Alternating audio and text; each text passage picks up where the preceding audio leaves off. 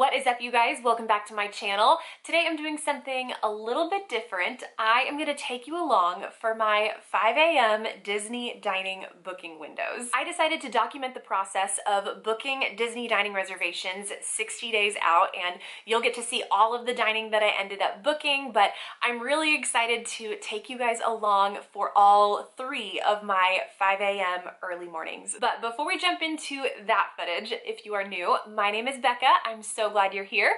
I share all kinds of Disney planning content, tips for taking a toddler to Disney World, as well as vlogs from our latest Disney adventures. So I would love for you to stick around and hit that red subscribe button. You won't want to miss our upcoming Christmas Disney vlogs very soon. So make sure that you're subscribed and go ahead and give this video a thumbs up. And let's jump into day one of booking Disney dining. Good morning, you guys. It is 4.45 in the morning and I am up making dining reservations for our next Disney trip. I'll share more about this trip later on in another video, but because we are doing a split stay, the first part of our trip is gonna be off property. The second part of our trip is on property. That basically means that for these first few days of our off property stay, I have to be up making dining every single day, one at a time. I don't have the perk of booking our dining for the length of our stay until my window comes for our check-in day for our on-property stay, if that makes sense.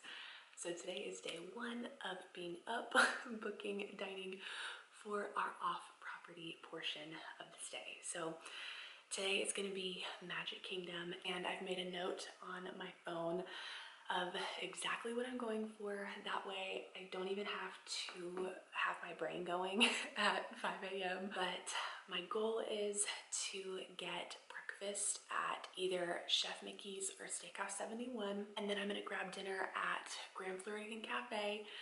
And then I would love to book the fireworks dessert party for the stay at Magic Kingdom. So those are my three things I'm gonna try and snag today and then I'll be up tomorrow morning doing it all over again. so we'll see what I can get. It's 4.48 now, so I'm gonna get all logged in and see how it goes.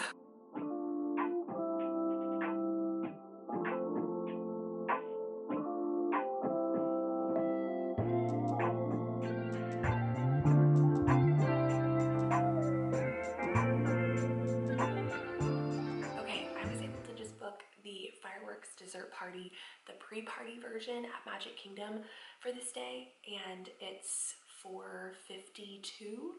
So I don't know what time it opened. It popped right up. So I don't know if that opens early, um, but I just went ahead and booked it on my phone and I'm gonna keep refreshing regular dining reservations on my laptop. But I guess the dessert party opens a little bit earlier than normal dining reservations. So I don't know how early you have access to it, but at 4.50, it popped right up. Okay, another tip is to have a world clock pulled up on your laptop, your phone, whatever. I just Googled it and clicked on the first one that popped up. And that way I know down to the second when 5 a.m. is gonna hit. So we are about 60 seconds out and I'm just gonna keep refreshing because every second counts. We'll see though, staying off property, you don't have the upper hand of booking multiple days out. So at this point, a lot of people have already been able to book on this day. So we'll see, but all right, we're seconds away now. All right, Chef Mickey's is already gone. So I'm gonna get Steakhouse 71 at 8 a.m my phone ended up being faster and my laptop just is giving me the spinning wheel right now. So always have your phone ready to go, always have a backup plan because everything had been working just perfect. I'd restarted my computer, the whole thing, and then right when you click on the reservation, you know, things can go wrong. So, all right, now I'm gonna just use my phone and I'm gonna do 5.30 dinner, and I'm gonna get Grand Floridian Cafe. This one shouldn't be super hard to get. There's a California Grill available. Kona Cafe is reopened, but I think I like the idea of being able to walk from the Grand Floridian over to Magic Kingdom. So I think I'll do that. I'm just kind of double checking. Yeah, let's do that. Because Grand Floridian Cafe usually isn't a big deal to grab. So I'm gonna grab this 5.30 at Grand Floridian Cafe and my computer is still frozen. All right, and we're good to go. So I got my 8 a.m. or 8.05 breakfast at Steakhouse 71 and no surprise that Chef Mickey's was already gone. That makes total sense. And then that 5.30 dinner at Grand Floridian Cafe and then I got the dessert party. So pretty good. I mean, the only thing that stinks is that I'm gonna be up tomorrow morning doing this all over again. but uh, I got everything I wanted to get. I mean, Steakhouse 71, Grand Floridian Cafe, not super difficult, but it is Christmas time, it's December. You just never know what's gonna go quick and what's gonna be available. So, all right, it is 5.05 and I'm gonna go back to bed and I will see you tomorrow morning. All right, day two of booking off-property dining. Today is Animal Kingdom and I would love to get Tusker House for lunch or dinner. I would do either, kind of whatever I can find, but I realize that Tusker House, because it's a character meal, it's very popular, so I may have just gotten up for nothing because it might already be gone. because again, I'm booking for our off-property stay, so I don't have the upper hand with our booking window right now. So we'll see. But I'll see if Tiffin's is available. That's another one that I would enjoy, but I would love Tusker House first. So if I can't get Tusker House, if that's just not available, I'll check like a late breakfast, lunch, and dinner. I'll check all the meals. If I can't find anything, I'll try to get Tiffin's, but that may already be gone too. Tiffin's is also another popular one. We'll see, but here we go. It is, what time is it now? 4.56. So here we go. I'm all set. We still have a couple more minutes. I'm gonna keep refreshing. but I should add that for yesterday's reservations, I went ahead and set up a mouse dining alert for Chef Mickey's. So we'll see that may come through in the next 60 days, or it may not. I don't know, on our last trip, I never got a notification for Chef Mickey's or any kind of cancellation, but it never hurts to get an alert set up. So if I can't get Tusker House, I'll just go ahead and set up an alert on Mouse Dining. And then, you know, if somebody cancels, they could cancel this morning or it could be sometime in the next 60 days. That way I can get an alert and, uh, you know, try to snag it later on. So I'm not just gonna give up but I am gonna try for it this morning. Okay, Tusker House is already long gone for breakfast, lunch, and dinner. So let's see about Tiffin's. Okay, I'm gonna snag a 550 dinner at Tiffin's. And I'm just gonna grab that and then set my alert for Tusker House if that opens up later on.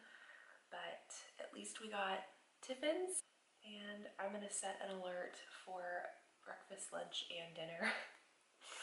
and we'll just see if anything pops up later on down the road. So, all right, well, that's it for day two of off-property dining. Having to go one day at a time really stinks. But tomorrow opens up my window for our check-in day when we're staying on property.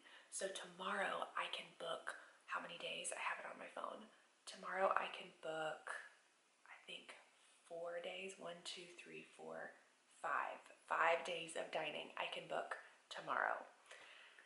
It all mapped out and I'm trying to put some of the harder priority meals at the end of our trip. That way I have the upper hand so we'll see how it goes tomorrow, but yeah, it's 5.05. I'm gonna go back to bed. Hopefully this morning I can go back to sleep for just a little bit before Ellie Rose gets up. So that's it. day two of dining, Animal Kingdom. We got Tiffin's. That's it. So I'll see you tomorrow for day three of dining. Here we are, day three. Wow, it is very early.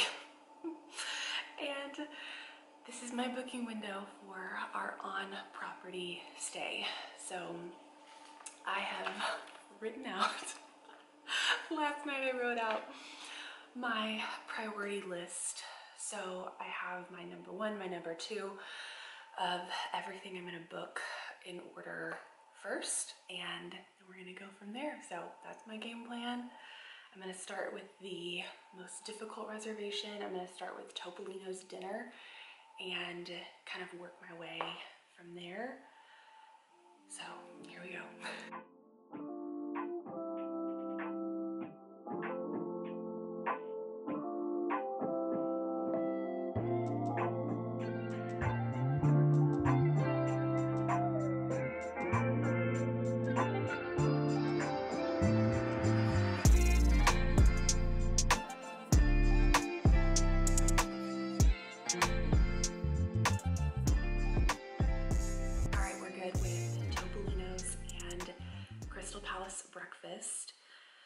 those two were good. My phone is being quicker for some reason. It's just been easier to maneuver. Okay, I'm trying to get Wine Bar George and for some reason that's not available. Come on. I just keep switching the time. I've been changing it to like six o'clock, 6.30, kind of going back with those two. But let's see, maybe if I just switch it to dinner. Yeah, so strange. So when I moved it over to dinner, all this about all this availability popped up. All right, wine bar George is good. And then my next one, I wrote this on the back of an envelope, like card, so it's like all torn up. Got 505 at Citricos. Okay, next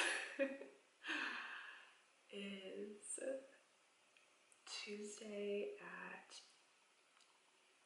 Brown Derby. If they have Hollywood and Vine, let me switch times to lunch because more things have been popping up when I switch it to the lunch or dinner option as compared to a more specific time for some reason. And no Hollywood Brown Derby. Okay, let me keep playing around with the time. Okay, well, I may have to set an alert for this one. I'm gonna go ahead and check on our last morning breakfast. So the only one that I still need to get is either Hollywood and Vine and Hollywood Brown Derby. Either one of those two for either lunch or dinner, whichever one. So I might sit here and keep refreshing, but I'll tell you what I got so far, which I'm really, really excited about. We got Steakhouse 71 and Grand Floridian and then the Magic Kingdom dessert party. We have Tiffin's for dinner, uh, Wine Bar George, breakfast at Crystal Palace. I'm really excited about that one. I got a 10.30 breakfast and that way my plan is that we could maybe just snack for lunch and then we'll do Citricos for dinner that night. I have dinner at Topolino's. I'm really excited about that. And then breakfast at Kona Cafe, which I'm really excited about Kona since it's been closed for a little while, so I think it'll be really good. So I'm really excited about what I got, especially breakfast at Crystal Palace and dinner at Topolino's. I'm really, really excited that I got those. And the, I mean, there's just a couple more that I'll have my mouse dining alerts set for, but for the most part, I feel like I got everything that was really, really important. Crystal Palace and dinner at Topolino's were kind of the two that I was dying to get. So I'm really, really excited that I got those and it just goes to show that having that on property booking window perk really makes a difference. Like if there is a reservation that you're dying to get, like Topolino's or Cinderella's Royal Table or some of those, they just don't pop up unless you book them 65 days out. So we'll see if I'm able to get the Hollywood and Vine or Hollywood Brown Derby. I'm really shocked that Hollywood Brown Derby is gone, especially 61 days out. I really, I put that on my lower priority list because I thought it would be available. but you never know. But I feel like those are more likely to pop up later on. So who knows? I feel like I might be able to get those. But anyway, that's it. So yeah, it is 5.10 now. But that wraps it up for my three days of Disney dining booking for our off-property stay and our on-property stay. So thank you guys so much for watching. I hope this was helpful. Maybe you got a couple of tips from this or it was just interesting to see it kind of play out in real life, how someone books their dining at 5 a.m. So this is very different for me. So I hope you guys enjoyed watching and thank you guys again. Make sure you're subscribed, give this video a thumbs up, and I will see you in my next one. Bye.